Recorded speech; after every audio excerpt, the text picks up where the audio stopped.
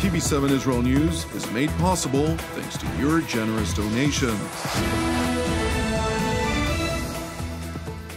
Shalom, good evening. This is TV7 Israel News broadcast to you from Jerusalem and in today's top stories. Effective immediately, all people entering Israel from anywhere around the world will be forced into a 14 day quarantine. Any foreign nationals that enter Israel will have to provide their ability to self quarantine. If they cannot, they will be barred from entering the Jewish state. In spite of growing measures that limit the freedom of movement in congregations, celebrations are taking place across Israel for the Jewish holiday of Purim, which commemorates the salvation of the Jewish people in ancient Persia, as recounted in the biblical book of Esther. Israeli Prime Minister Benjamin Netanyahu announced last night that effective immediately, every person returning to Israel from anywhere around the world will have to remain in a self-imposed quarantine for 14 days. אחרי ממש של דיונים מורכבים, קיבלנו החלטה. כל מי שיגיע לישראל מחו"ל, ייכנס לבידוד של 14 יום. זו החלטה קשה, אבל היא חיונית כדי לשמור על בריאות הציבור, ובריאות הציבור קודמת לפני הכל. ההחלטה הזאת תהיה בתוקף לשבועיים, במקביל אנחנו מקבלים החלטות לשמור על כלכלת ישראל. It is imperative to highlight that self quarantine is compulsory. This measure applies to Israelis and foreign nationals alike. The Israeli Population and Immigration Authority issued a statement underscoring that every foreigner arriving at one of Israel's international border crossings will have to prove that they have a place where they can self quarantine in Israel. If they cannot, they will be barred from entering the Jewish state. In light of this drastic measure, the two smaller Israeli airliners, Israir and Arkia, announced their decision to cancel all scheduled international flights. Israir stressed, however, that it would offer return flights to Israel for all of its passengers who are currently overseas through the end of this week, after which it will cancel all scheduled international flights through the end of March. Arkia, on the other hand, announced that it limit its operations effective immediately to domestic flights exclusively. Meanwhile, returning Israelis voiced frustration over the situation this morning, but stopped short from rebuking the drastic measure. I'm coming from uh, Washington, D.C. I was at the AIPAC policy conference uh, there uh, a week ago. I've been in the States for two weeks, and a few hours before I left, I heard that I'm going to have to be stuck in my house for two weeks, uh, which isn't exactly the best case scenario, but uh, navor we say uh, in Hebrew. Uh, we came from uh, Bansko, Bulgaria, and we landed in Israel. And we heard from the news that we need to be two weeks in our homes. Nobody told us in the, here in the airport. Uh, it's very sad because we're not going to work, not for study. Uh, that's life. It is important to mention that Israel is not the only country in the region that decided to isolate itself from the rest of the world. Italy, which faces the worst known outbreak among Mediterranean and European states, announced its decision to classify the country as an isolated zone in its entirety. Returning to Jerusalem, where Prime Minister Benjamin Netanyahu held a multilateral video conference with heads of several European states in an Israeli initiated bid to promote a united global effort to limit the spread of the coronavirus and to deal with the expected implications. The Israeli leader highlighted three points on which the multilateral task force would work to achieve According to Netanyahu, the expected impact on the global economy, in light of the constriction of air travel, raises the need for designated so called clean airports that will serve to maintain shipments of vital commodities. Uh, we can get very quickly into a position of shutdowns of aircraft or constriction of air travel. That is happening as we speak. We've constricted uh, air travel to people who can come and be tested. I know other countries are doing the same. That's going to happen.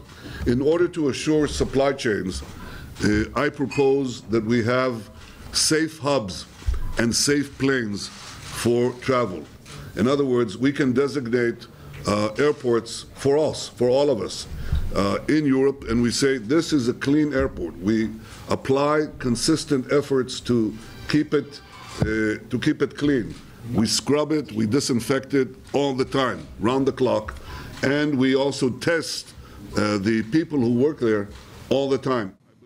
In addition to proactively safeguarding the national economic systems from possibly collapsing, Netanyahu reiterated the need for mass testing of the public to limit other people from potential exposure to the contagion.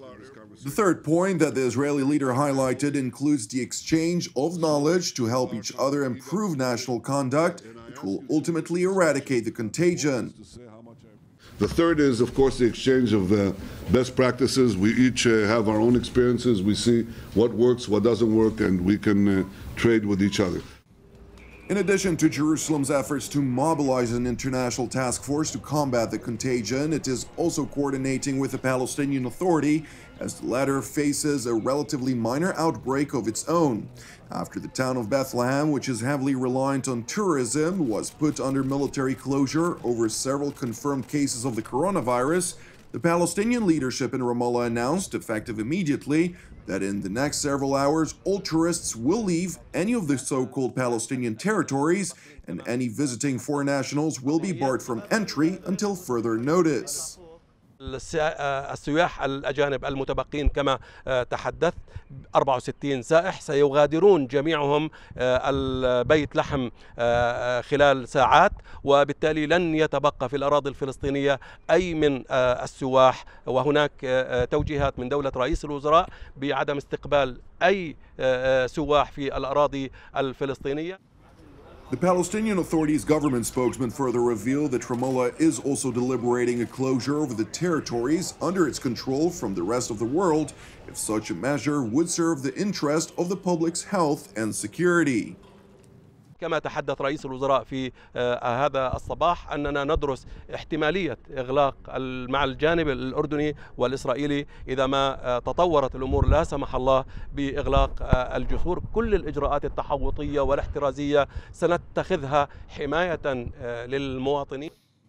Turning to Washington, where U.S. President Donald Trump held a press briefing together with the members of the coronavirus task force, which is headed by Vice President Mike Pence, who revealed that American pharmaceutical companies are working tirelessly to develop medicine that will provide relief to people that contracted the contagion. In addition, reported progress is being made in the area of mass public testing, as two US based pharmaceutical companies have already managed to develop a home test for self examination.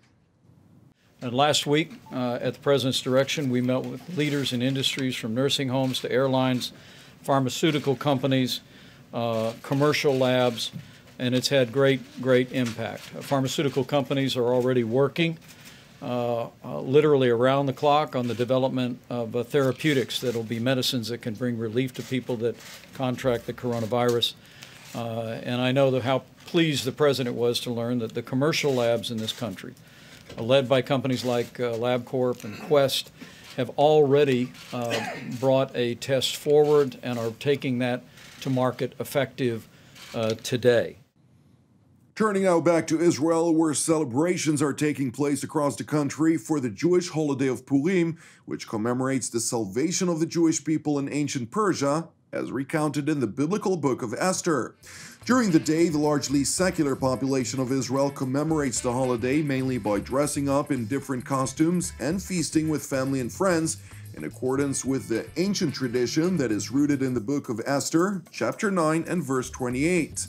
And while the Israeli Health Ministry continually reports new cases of the coronavirus and urges the public's caution over the contagion, Israeli parents defiantly refuse to limit their children's celebratory joys. I feel that this is the, their holiday. I don't want to spoil the holiday. So, you know, this is like a flu, uh, the corona. And I think that a little bit they, they exaggerate uh, all this thing about it. For me personally, I'm not so afraid, and also it's very important to me to give the children a very good feeling of Purim and happiness. It's very important uh, holiday for the children, so we try to be very happy for them, and I'm not so concerned personally.